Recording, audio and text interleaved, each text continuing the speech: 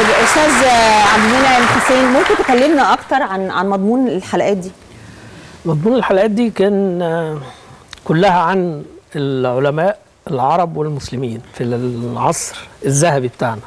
عصر النهضة النهضة بتاعنا آه إحنا كنا عايزين نوري لأن حصل هوجة كده بقت تقول للأطفال وللشباب إن لا لا لا إحنا مالناش تاريخ جامد وكل دول والناس دول اتحاربوا وما عملناش حاجة. فاحنا كنا قاصدين إن إحنا نبتدي نظهر ال- الناس دول. وأظهرنا كمان يعني تعمدنا إن إحنا نظهر فيهم شخصيات يمكن ما كانتش بتظهر قوي في في تاريخنا يعني. زي؟ زي زرياب مثلا عالم آه. موسيقي وعلم العالم كله الأزياء وزي إتيكيت الأكل.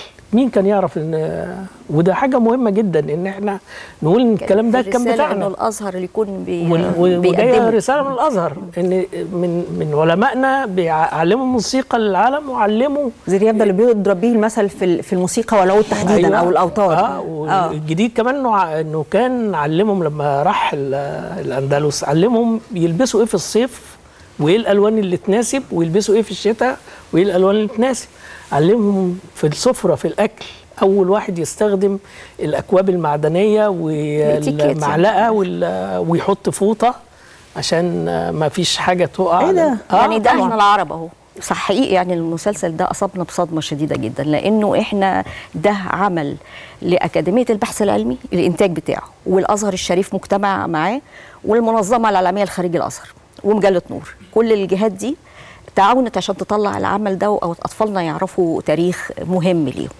الحقيقة إن لما جينا بقى وقت التسويق فوجئنا إنه ما حدش عايز ياخد كرتون. ما حدش عايز ياخد حاجة للأطفال. شايفينها إنها يعني أعتقد إنه في رمضان مش هتجيب إعلانات أو يعني مش مطلوبة. آه، فإحنا الحقيقة اديناه للتلفزيون المصري إهداء على أساس إنه ده عمل مصري معمول من مؤسسات مصرية مش معقول ما يتعرضش. وفي رسالة. مش معقول ما يتعرضش لأول أطفال. يعني إحنا في الأساس علشان آه، أطفالنا الأول يشوفوه قبل ما يروح الخليج وكده. حتى بعد ما العمل اخذ جايزة في في محمد بن راشد في دبي واخذ جايزة ال- ال- حقوق الإنسان اللي هو أشادت بيه الاستاذه انعام آه، محمد علي أشادت بيه إنه من من ضمن الأعمال السباق الرمضاني اللي هي شافتها إنها فيها تحقيق لحقوق الإنسان. يعني كان في بعض ال- الكلمات بتبقى جوه الحوار بيبقى في حاجات بتدي رسائل معينة أخلاقية.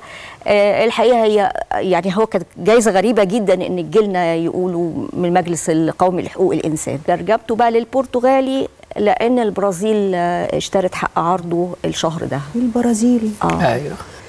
آه، الأعمال دي لازم تتعرض على أكتر من شاشة مصرية.